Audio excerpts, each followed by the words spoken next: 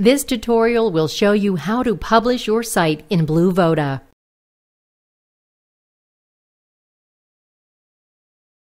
You can publish via the main menu bar.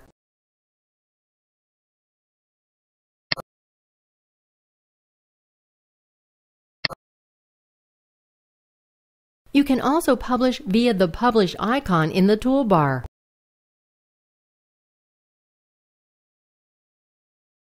Important! Note that you must publish each page individually. Select the IP where your account resides. You will see the IP as well as your login details in your welcome email.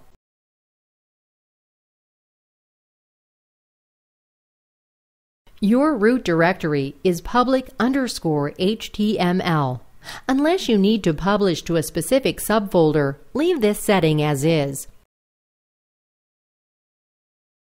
If you like, you can remember your username and password for future logins.